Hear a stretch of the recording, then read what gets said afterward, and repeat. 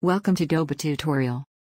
In previous videos, we have shown you how to connect your Shopify and Wix stores. Today, we will show you how to connect your eBay store. As always, we will explain the process step by step. Now, let's begin. Step 1 Please log into your retailer account. Click Stores. Step 2 Click Connect a new store, select eBay, then click Next. Step 3 Enter the store name, click Connect.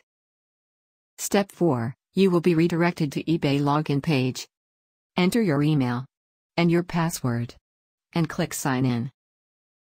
Step 5 On this page, you need to grant Doba access. Please read these words carefully and click I agree. Step 6 You will be redirected back to Doba. You will see, authorized successfully. Just click OK to finish. Then, on the Stores page, you will find your eBay store is activated and authorized. Now you are ready to go. Next, you may adjust your store settings and add some hot selling products to your eBay store. Sync and manage your orders, shipping and inventory from your eBay store. Right here on Doba.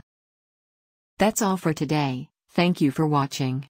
If you like this tutorial video, please subscribe for more.